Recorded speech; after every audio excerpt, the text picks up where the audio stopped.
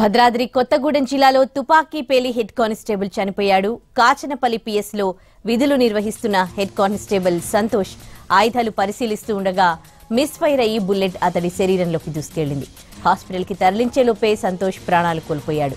మృతదేహాన్ని ఇల్లందు ప్రభుత్వ ఆసుపత్రికి తరలించారు.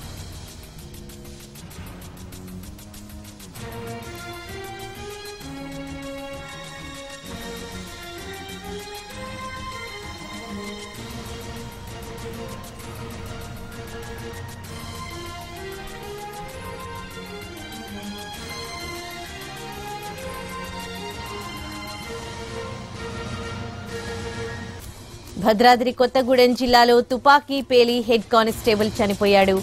కాచనపల్లి పిఎస్లో విధులు నిర్వహిస్తోన్న హెడ్ కానిస్టేబుల్ సంతోష్ ఆయుధాలు పరిశీలిస్తుండగా మిస్ఫైర్ అయ్యి బుల్లెట్ అతడి శరీరంలోకి దూసుకెళ్ళింది హాస్పిటల్కి తరలించే లోపే ప్రాణాలు కోల్పోయాడు. మృతదేహాన్ని ఇల్లందు ప్రభుత్వ ఆసుపత్రికి తరలించారు.